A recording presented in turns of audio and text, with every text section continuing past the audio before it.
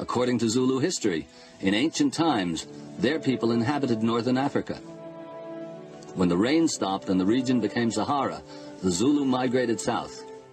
Some eminent visitors over the years, among them Gustave Flaubert, thought the Sphinx was black African.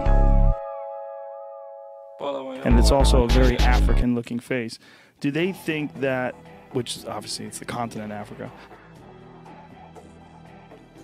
some said that. 19th century travelers, lots of them noted that this was really an African face, but what they meant is that it's a sub-Sahara African yes. face. It's a real African African face. The Nubians mm-hmm. are very black. It's a real African African face. The mm-hmm. Nubians mm-hmm. are very black. It's a real African African face. But have more or less finer features. But have more or less finer features. But have more or less finer features. But have more or less finer features. It's a real African African face. It's a real African African face. It's a real African African face. It's a real African African face. It's a real African African face. It's a real African African face. So basically, I'm every type of African there is. I mean, that looks more like an NBA basketball player. I mean, that looks more like an NBA basketball player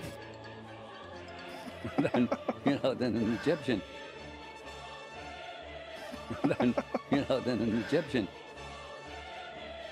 Oh, than an Egyptian. Oh, than an Egyptian. Oh, than an Egyptian. Oh, then an Egyptian. Oh, then an Egyptian. Oh, then an Egyptian. Oh, then an Egyptian. Oh, then an Egyptian. Oh, then an Egyptian. I mean, that looks more like an NBA basketball player. Oh, then an Egyptian.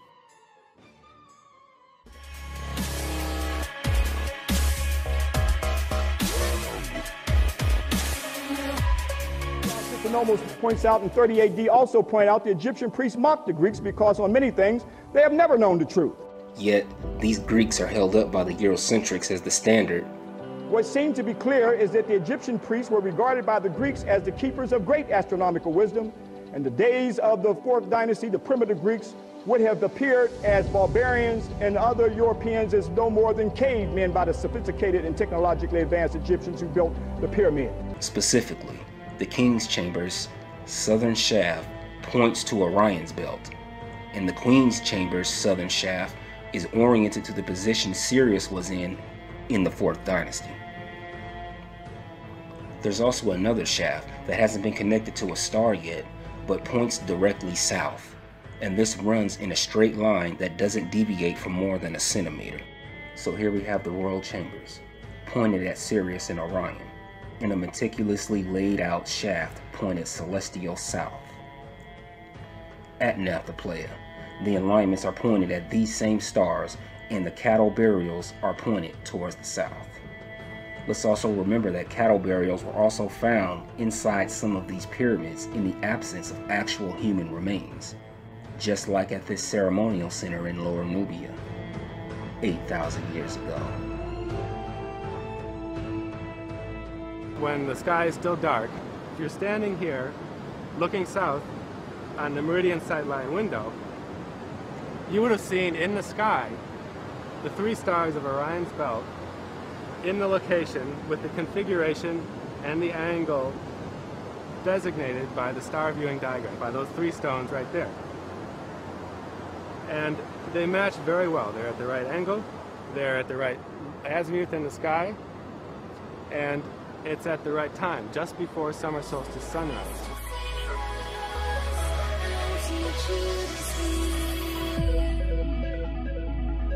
There is even evidence that the people of Nabta had a subtle and elegant concept of precessional motion, something academics have previously insisted was only discovered by the group. By placing two or more markers in a straight line aimed at the rising place of a star, such as the upright stones over at Nabta an observer can witness that same star rising in that same spot each day.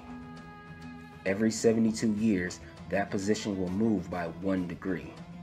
Multiply this by thousands of years, and we can now see how the Egyptians were in possession of thousands of years of astronomical knowledge. What seems to be clear is that the Egyptian priests were regarded by the Greeks as the keepers of great astronomical wisdom. According to the findings of Wendorf and Schild, Nabta began functioning as a ceremonial center during the Middle Neolithic around 6100 to 5500 BC. In the days of the fourth dynasty, the primitive Greeks would have appeared as barbarians and other Europeans as no more than cavemen by the sophisticated and technologically advanced Egyptians. Which takes us right to the birth of Egypt's pharaonic Naqada culture.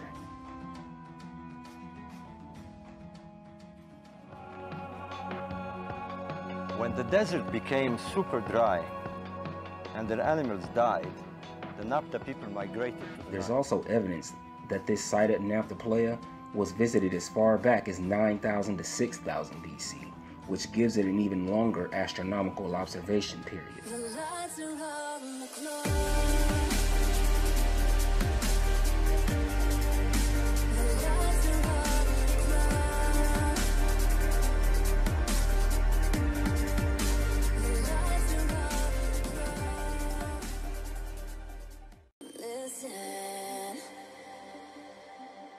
Orion's belt stars match the viewing diagram very perfectly uh, in the window 6400 to 4900 BC when they're at their minimum tilt.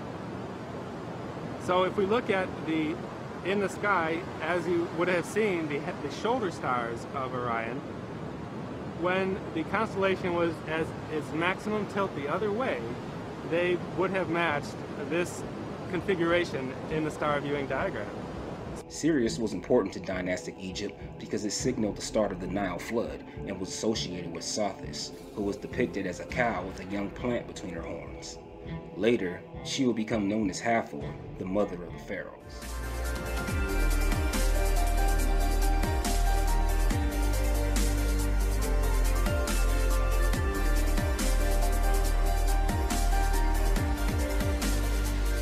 We also see this in Egypt, where the Apis bull was ceremonially buried. The ancient Egyptians would target these celestial bodies and give them intense cow and bull symbolism. Let's not forget that Egypt was indeed an intensely stellar society when it came to its myths. Out of all the stars in the sky, it is only these three stellar asterisms, Orion, the Big Dipper, and Sirius, that can be identified from ancient Egyptian texts and drawings. Orion was known as Sa to the Egyptians. It was associated with Osiris and the king himself, who was the celestial and celebrated Apis bull of Memphis.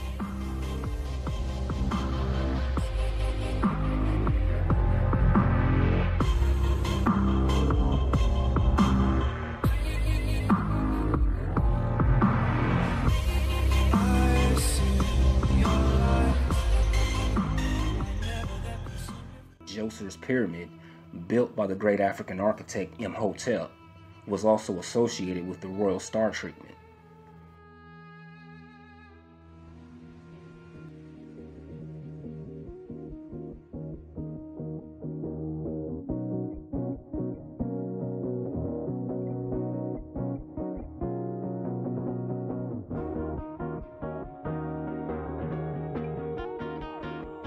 They know for certain that the people of Nabta measured the alignment Sirius and the bull's thigh at 6100 BC, as measured multiple times by astronomy software and human calculation.